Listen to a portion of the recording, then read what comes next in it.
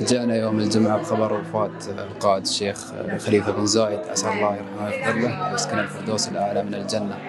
يوم حزين لشعب الإمارات والأمة العربية والعالم أجمع كان خير خلف لخير السلف وكان نعم الأب والقائد لشعبه ودولته. أحسن الله إذا قادتنا وشعب الإمارات في رحيله. ونسأل الله أن يجمعنا به في جناته يا رب العالمين. تقدم خالص التعازي والمواساة قيادتنا الرشيدة الشعب الإماراتي. رحيل قائدنا صاحب السمو الشيخ خليفة.